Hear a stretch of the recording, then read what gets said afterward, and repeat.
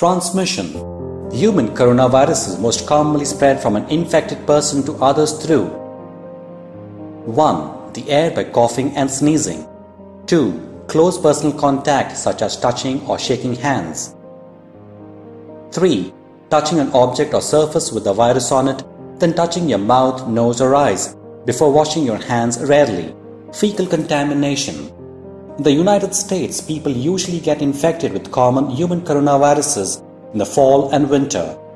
However, you can get infected at any time of the year. Most people will get infected with one or more of the common human coronaviruses in their lifetime. Young children are most likely to get infected.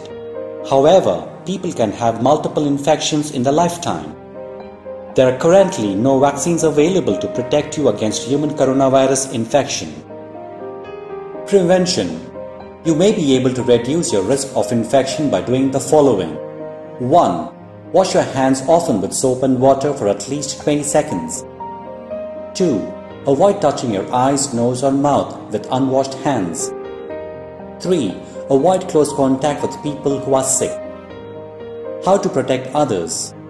If you have cold like symptoms, you can help protect others by doing the following 1. Stay home while you are sick. 2. Avoid close contact with others. 3. Cover your mouth and nose with a tissue when you cough or sneeze, then throw the tissue in the trash and wash your hands. 4. Clean and disinfect objects and surfaces. Treatment There are no specific treatments for illness caused by human coronaviruses. Most people with common human coronavirus illness will recover on their own. However, you can do some things to relieve your symptoms. 1. Take pain and fever medications.